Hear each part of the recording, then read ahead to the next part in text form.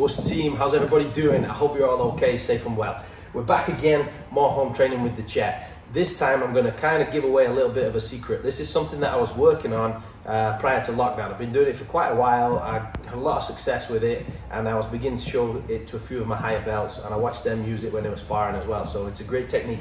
It's a way of maintaining control on the back. Okay, so here we go. I'm just going to stick my head out here while I talk.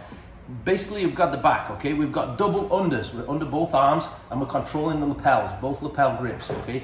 I tried this with the jacket and it just kept falling off. So it actually works really well if you just grip the sides of the chair like so.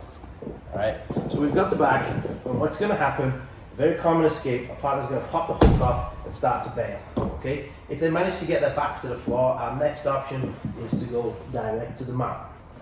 But in this case, here's what you're gonna do. Once they go, before they have a chance to get their back to the floor, I'm to take my top hook and put my knee right between the shoulder blades. And now I'm just going to get to the top. So I keep my knee in their shoulder blades, I keep my arms locked, and I'm going to come to the top. I use my foot and my head on the floor. then I'm going to sit back, keep my knee in their back, and then find the right time to get the hooks in.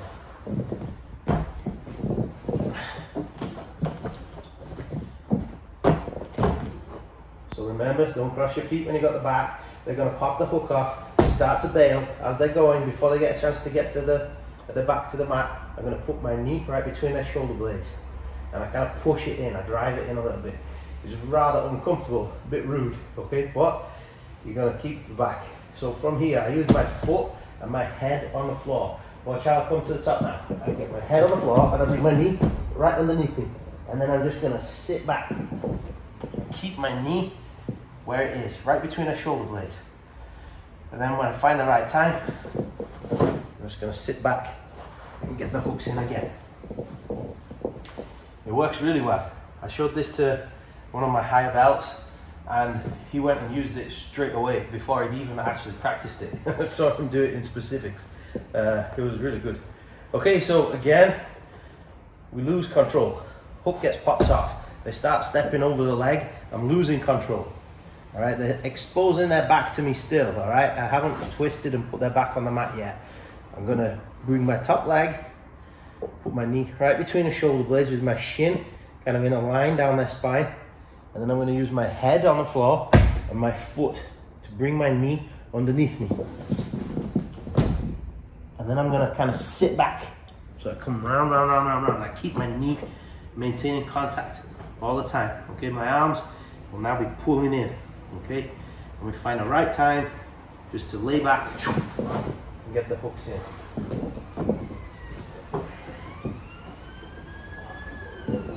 Back control, pops the hook off, start to lose it, knee goes in right between the shoulder blades. Okay, it's a bit rude, but never mind. Okay, keep your arms straight so I maintain that distance between us.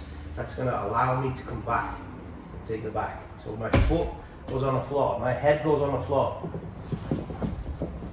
So I get my knee underneath me and I keep my other knee right in the back. And then I'm just gonna fall back, just sit in position, okay? And then I find the right time to get the hooks in again. Last couple, okay? Drop the hook, step over, knee goes in, head on the floor, sit back, take the back. Last one. Lose the hook. Knee in the back. Head on the floor. Sit back. Okay. Boom. Hooks in. Maintain back control. Okay, guys. Not exactly a secret, but it was something us higher belts have been working on for a while. Maybe some of you felt it. Okay, take care, stay safe. Now you know what's going on. Go practice it. Oos.